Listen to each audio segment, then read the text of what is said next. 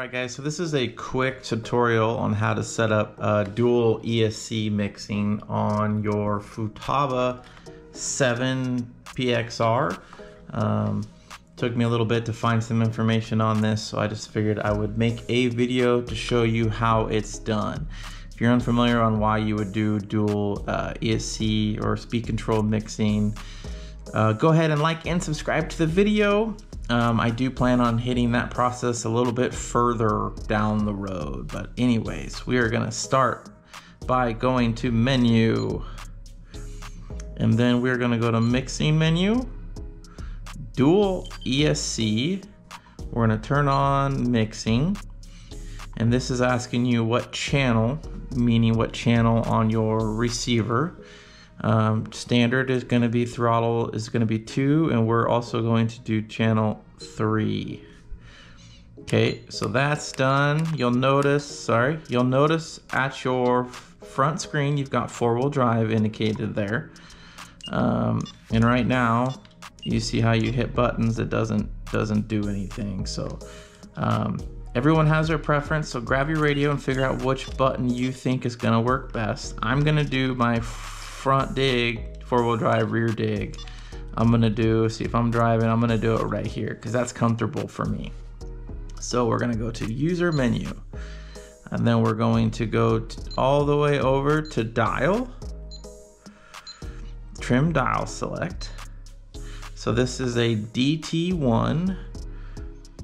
We're gonna select DT1. We're gonna scroll over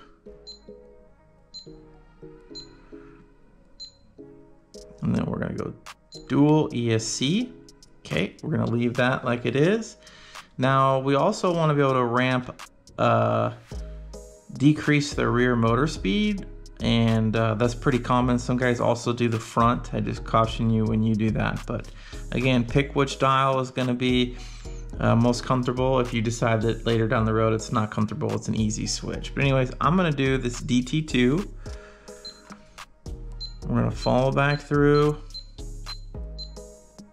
Dual ESC ratio. Right now, step two is two increments at a time. We're gonna increase that all the way to 10. Okay, we're gonna go back to our home screen. You'll notice now we've got four wheel drive selected. So if I click front, it immediately tells me it's gonna be my front motor, back one, four wheel drive, back again, rear motor only. Now we're gonna take it a step further. Say we're in four wheel drive, we're climbing. So you'll see we have 100% progression right here. Now if we turn this down, it's going to turn down the rear motor, CR70. You'll have to make sure you plug in your speed controls. Your rear motor is gonna go into channel two and your front's in three. You'll see how we're trimming it down. Now we have no power to the rear motor, 100% front. And then we're gonna increase it back up. And now you also notice this current button, if you go forward, you can turn your front motor down. Don't recommend doing that um, unless you're really familiar. Just know that, hey, I need to turn my rear motor down. I'm clicking backwards. But that's it, down and dirty, super easy. Hopefully it helps you out.